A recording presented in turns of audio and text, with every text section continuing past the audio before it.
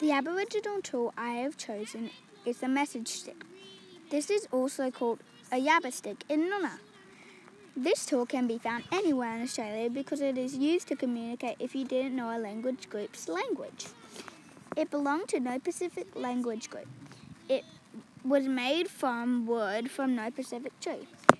It was used for communicating to different language groups if you didn't know a language group's language. I made my 3D model by using a stick and paint. I chose this tool because I wanted to learn more about the message or Yabba stick.